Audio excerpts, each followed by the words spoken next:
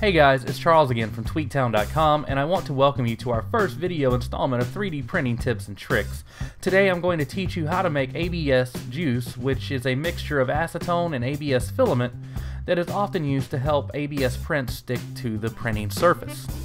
To do this, all you need are three simple things. You need a ABS proof Nalgene bottle. You can pick these up for about $5 on Amazon.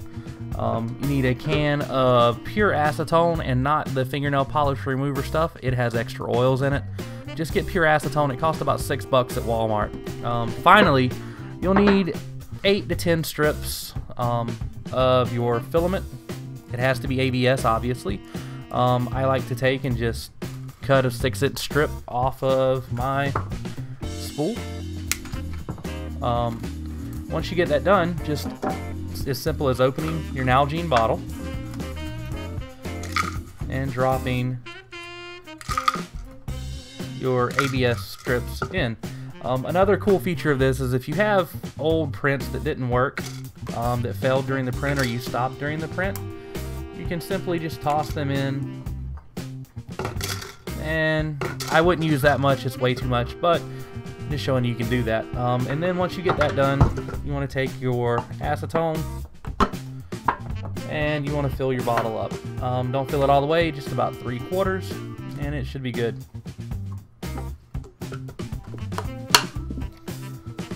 Then you just simply put your cap on and hey, let it sit for a couple hours, shaking every hour or so, and eventually you'll get something like this. This is a very watery mixture. I don't like to go too thick because if you go too thick, you have problems removing prints from the print surface. Um, I'm going to demonstrate now how to do this.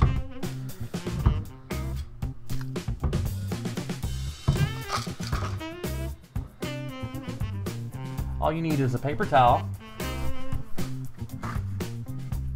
which you fold into squares.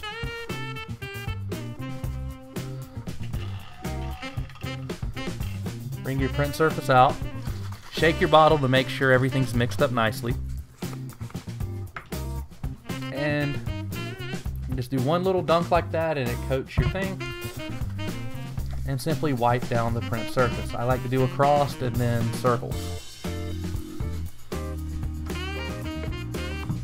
Um, if you have a surface that has been varnished, like my little table here, if you lay this rag down on it, it will melt the varnish and it will stick and it will ruin your table surface. So do this on something you don't really care about.